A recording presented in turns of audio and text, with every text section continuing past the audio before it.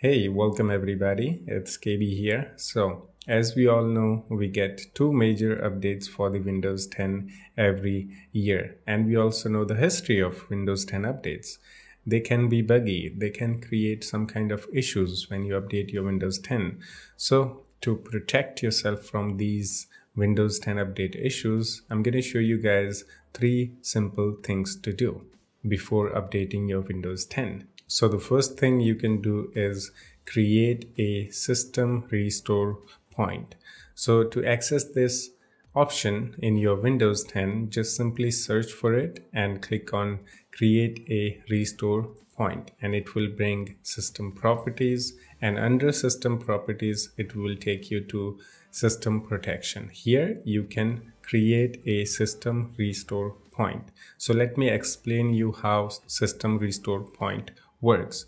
So when you make a system restore point before the update and then update your Windows 10 and if you get any problem, you can undo all the changes that I have done after you created a restore point. So it is a very useful feature that you should be using every time you update your Windows 10. So to create a system restore point, you can just click on create and you can also read here, it says create a restore point right now for the drives that have system protection turned on. So to create a system restore point, make sure that system protection is turned on at least on Windows drive or C drive. So by default, it should be turned on for the Windows drive. But just in case if it is turned off, you can simply select the drive and click on configure and here you can turn on the system protection. And now to create a system restore point, just click on create and give it a name, any name that you can easily remember. So I'm just gonna name it Win10 update so it will be easy to remember and it will create system restore point within few seconds. It doesn't take that long. So you can say it says system restore point was created successfully. So now let's say you updated your windows 10 to the latest version but you got some problems don't worry you can get back here and this time you click on system restore. Just click on it and it will give you some options.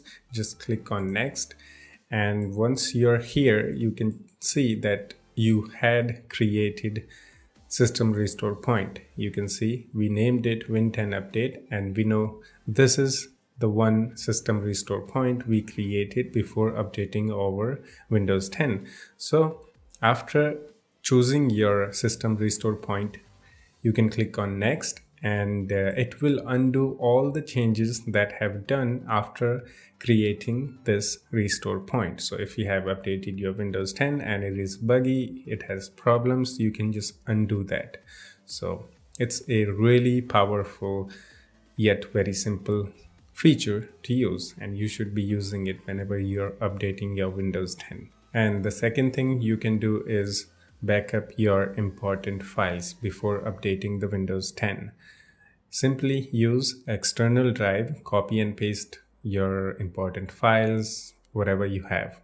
And uh, another option is use online drives such as Google Drive and uh, Microsoft's OneDrive. And each of these services will give you 15 gigabyte of storage for free. So it's uh, up to you what you want to use. Depending on your file size, you can use free version of online drive, which will give you 15 gigabytes or just use your external drive. And the last thing you can do to protect yourself from Windows 10 update issues is don't update your Windows 10 for a few weeks or a month and let me explain you why. So whenever you get the Windows 10 major update, it will actually come as a optional update. So you don't have to update it immediately. So you can just wait and let other people install it for you and keep tracking the windows 10 update. And that way you will be very safe. So let me explain you how.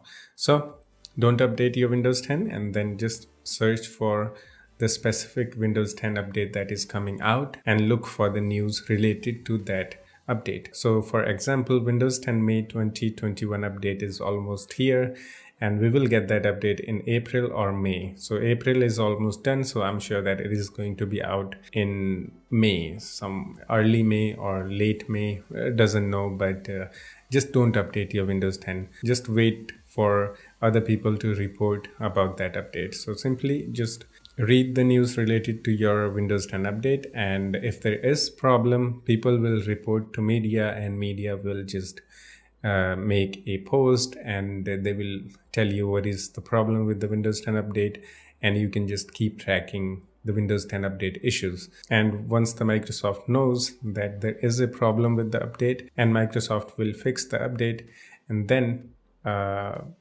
just update your windows 10 like uh, just wait for other people to use the update and you will know everything just keep tracking the update using news and uh, you'll be good and yeah that's how you should be updating your windows 10 but if you have done uh, step one and step two, you can actually update your Windows 10 without a problem. If there is a problem, you can simply just undo everything by using the system restore point. And if you have backed up your files, then you're also good. And, uh, you know, the best thing I would suggest to you guys to do is um, don't update the Windows 10 for few weeks or month. And uh, yeah, actually all of the steps are very important. Still just create a system restore point. It doesn't take time and uh, you will be very safe once you create a system restore point because you can just undo everything uh, after you create a system restore point. And that's it. Hope you enjoyed it. And um, yeah, I will put link in the description for my website. You can go there and watch other videos, download softwares. You know, I do a lot of things. I make tutorials and all that. So yeah, hope you enjoyed it. I will see you in the next one. Take care of yourself and have fun. Bye bye.